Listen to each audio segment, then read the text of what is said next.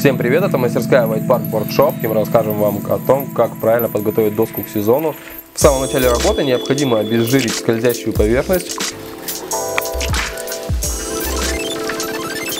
А в дальнейшем необходимо заточить канты как с боковой поверхности, так и с поверхности, которая прилегает к базе.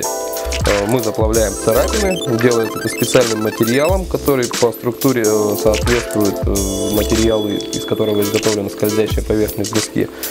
После того, как царапины залиты, необходимо снять весь лишний наплавленный материал,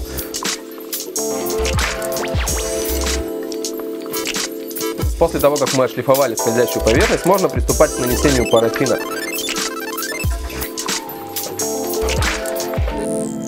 После того, как мы запарафинили доску, необходимо дать ей немного остыть э, до комнатной температуры. Э, потом специальным скребком э, мы снимаем э, излишки парафина.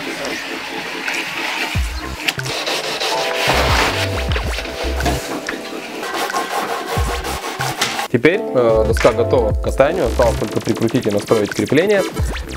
На этом все. Ждем вас в нашей мастерской. Всего доброго.